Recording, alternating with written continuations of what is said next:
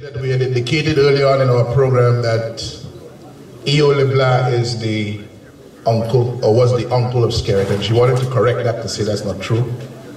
That E.O. LeBlanc was not Roosevelt Skerrit's uncle. And I just wanted to clarify that for the record. History now.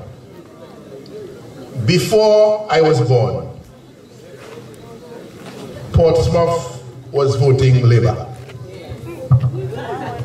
Before Ian Douglas was born, Portsmouth was voting Labour.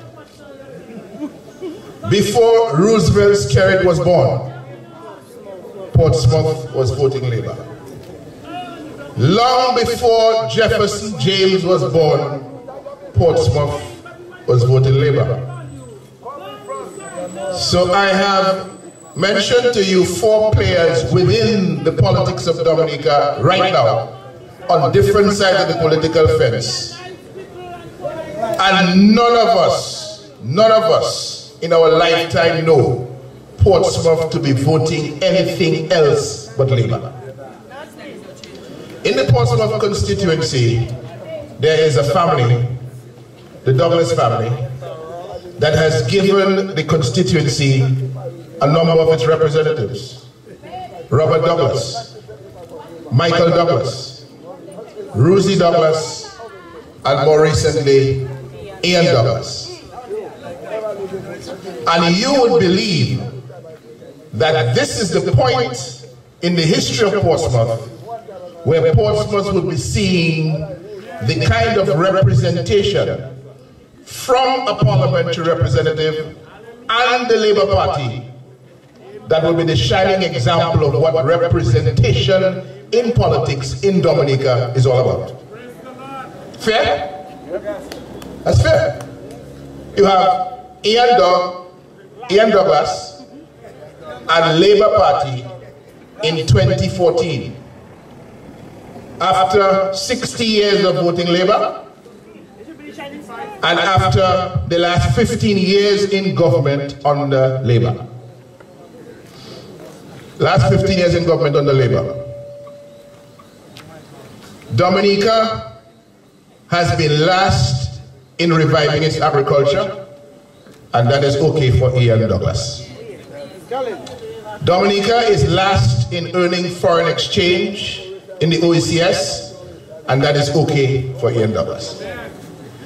Dominica is last in attracting foreign direct investments into its economy, and that is okay for Ian Douglas. Dominica is last in tourism performance. Ian Douglas is the minister, he has been the minister since 2007, and that is okay for Ian Douglas. Before Ian Douglas, there was Ivo Nassif, a dollar a year minister in the tourism ministry. He had plans for a marina in the natural bay there, that natural bay that Portsmouth has. Beautiful, scenic. Ivo Nassif left the tourism ministry in 2007. Ian Douglas took over. Not one word about a marina for Portsmouth, which has such great strategic significance for the tourism product of Dominica. So, no vision, Portsmouth perishing. Yes, sir, yes, sir, yes, sir, that's true. Coming last. It's not been said, you know.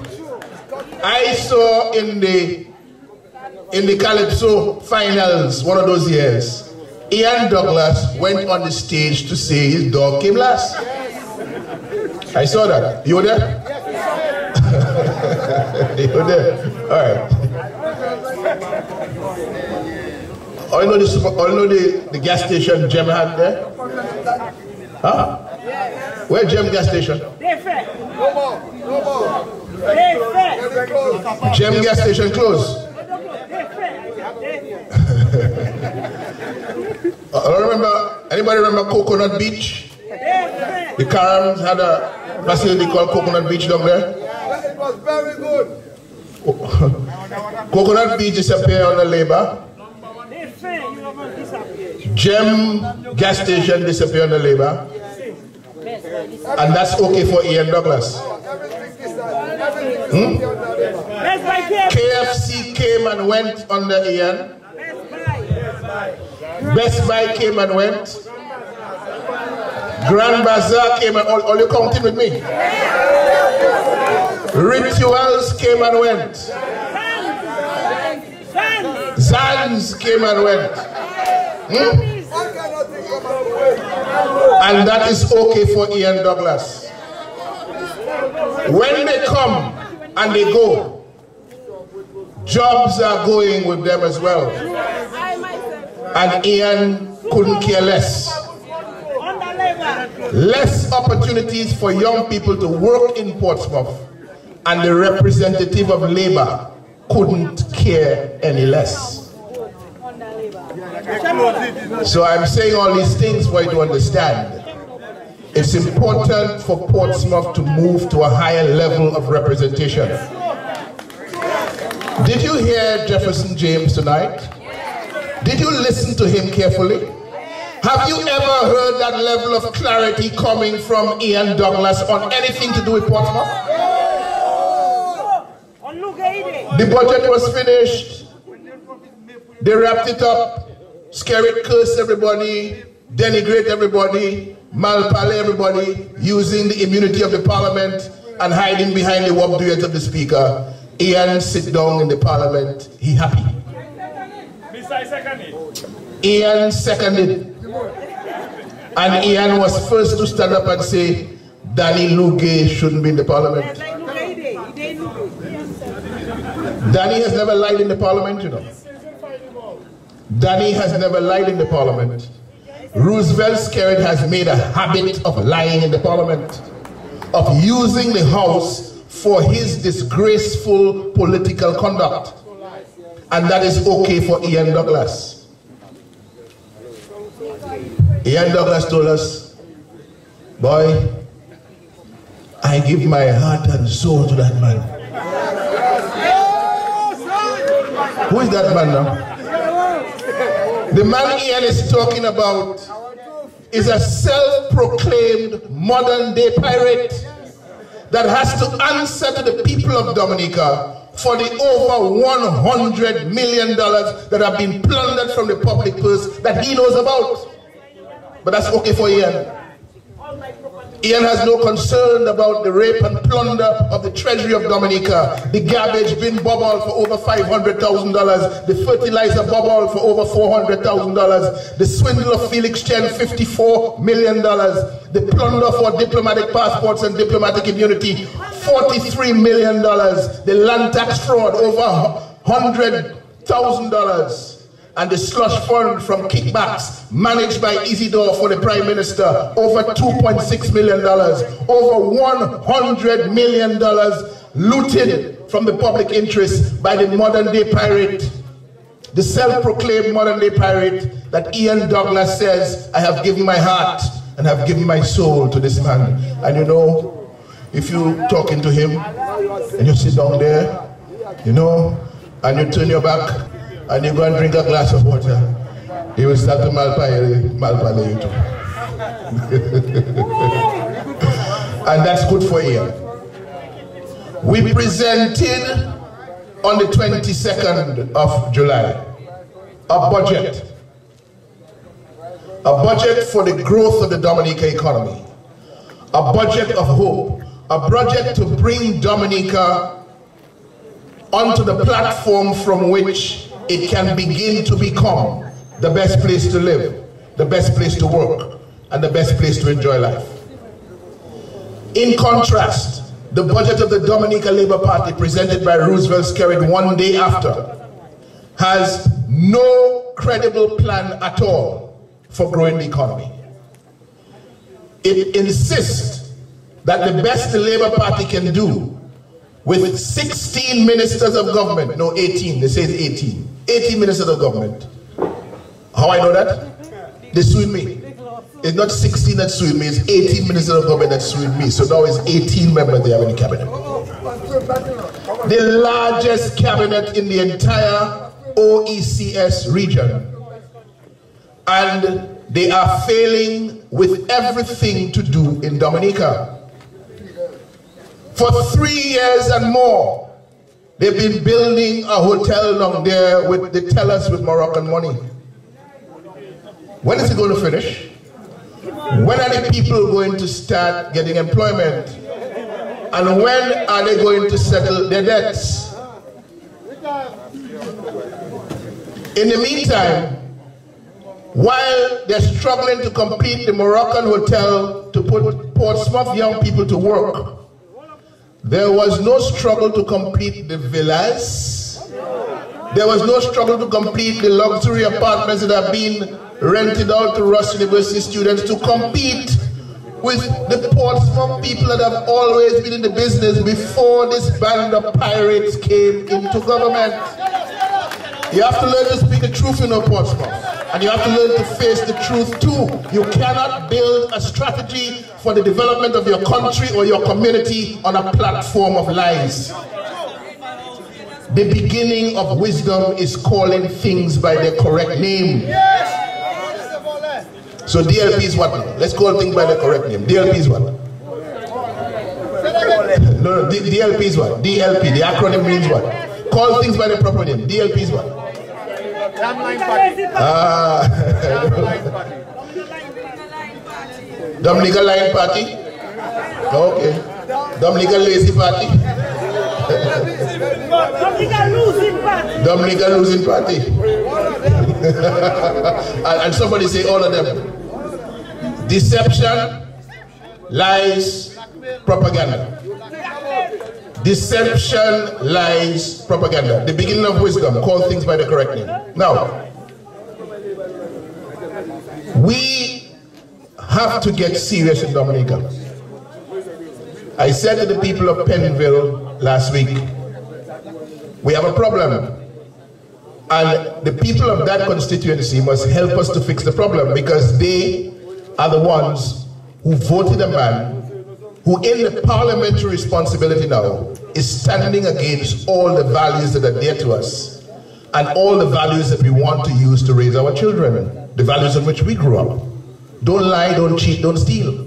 Let me do it.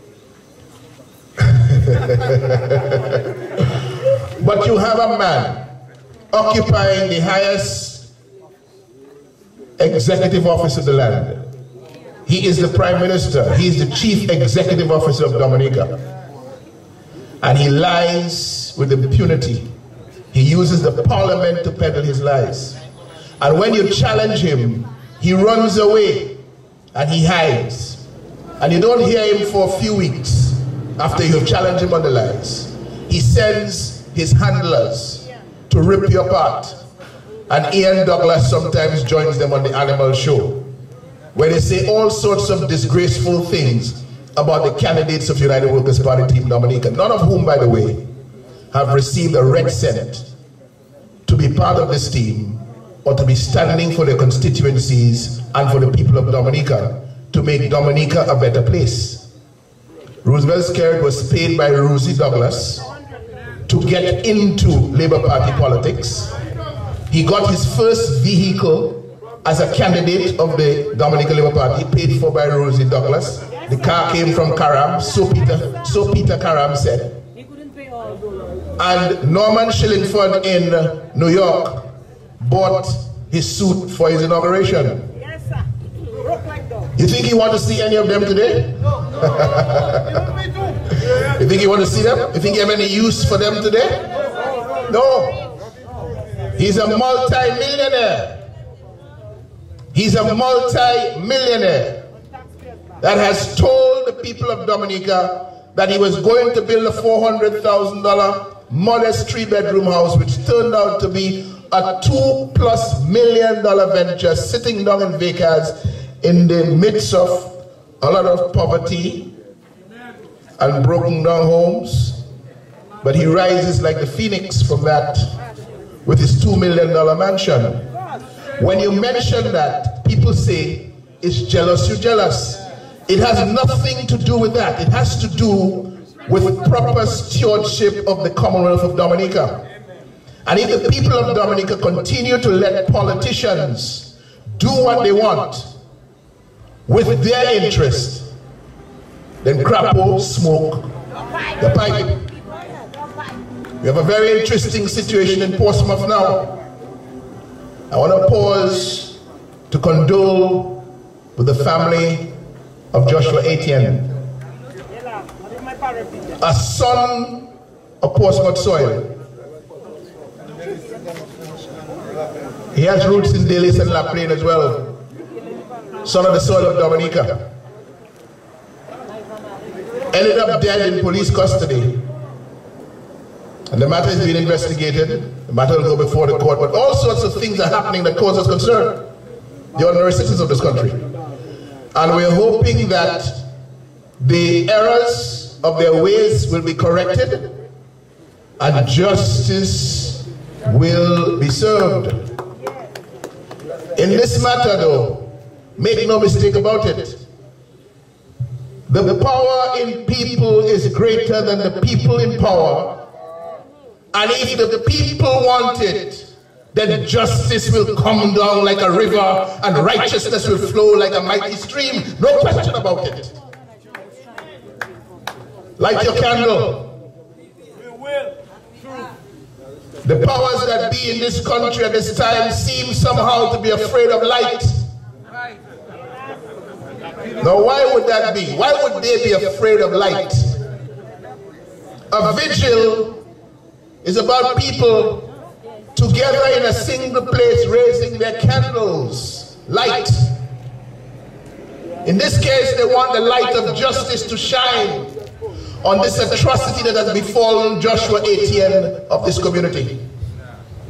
And I heard today the police said that the vigil is illegal, that they need to have permission. We didn't need permission for this tonight, you know, because it's a public meeting. The public order acts that if you were having a procession, we should have the police permission. But to have this, which comes under the broad banner of freedom of assembly under our constitution, we don't need permission for that. So if you put up your candles now, and you say, well, we're ending the meeting for like a vigil, the police will come and tell you go home. But this is Dominica. Since when we cannot have a vigil without the police authorizing us to have a vigil? It's not many states around the world that have outlawed vigils, you know. Especially as part of peaceful, orderly protest action. So far, I think it's only Nigeria, you know, and, and um, China. Hmm? And we come third now? We want to be third? Ladies and gentlemen, when, when matters of this kind come up, we must insist on justice and we must insist on closure for the families. They cannot get Joshua back. The most they can get is justice. We owe them that much.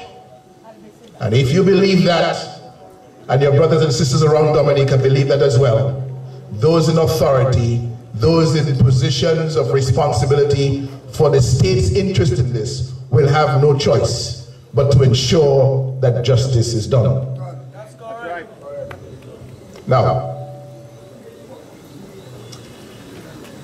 I don't know whether you understand or are beginning to understand how far back Dominica has come and how far back Portsmouth is as a result of incompetence, as a result of neglect, as a result of indifference, selfishness, greed by the members of this Dominica Labour Party government.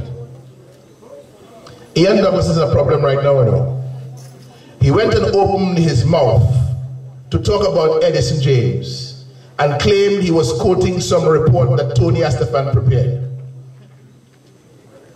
And when Tony Astaphan was told that Ian Douglas said it is from his report, he got the information. You know what Tony Astaphan said of Ian Douglas?